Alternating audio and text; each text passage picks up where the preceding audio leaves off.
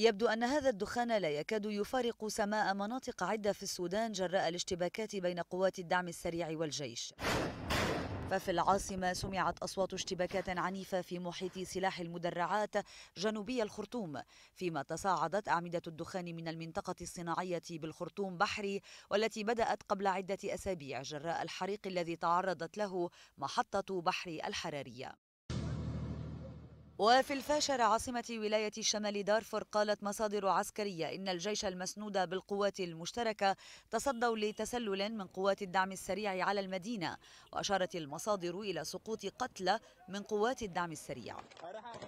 واندلعت مواجهة عنيفة في بلدة الخوي غربية كردفان بين الجيش والدعم السريع. استخدمت فيها الأسلحة الثقيلة والخفيفة بالتزامن مع هجمات جوية من قبل الطيران الحربي التابع للجيش. وأشارت المصادر إلى استهداف الطيران الحربي تجمعات لقوات الدعم في الطريق الرابط بين الخوي ومدينة النهود بولاية غرب كردفان. وتحديدا في الخوي.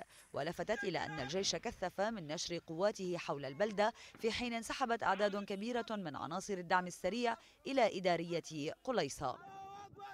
وخلال الساعات الماضية أعلن الجيش تدمير قوة تتبع للدعم السريع. قال عنها الجيش إنها كانت تحتمي داخل بعض منازل المواطنين في محيط سلاح المدرعات. جنوبي الخرطوم. مؤكدا استلامه لأسلحة وعتاد والتزامه بقواعد الاشتباك بحسب قوله. ومنذ الخامس عشر من أبريل عام 2023 يخوض الجيش السوداني وقوات الدعم السريع معارك عنيفة خلفت نحو 17 ألف قتيلا ونزوح ما يزيد على 12 مليون شخص من ولايات الخرطوم والجزيرة وولايات دارفور الخمس ومن أجزاء بولاية شمال كردفان وغرب وجنوب كردفان والنيل الأبيض.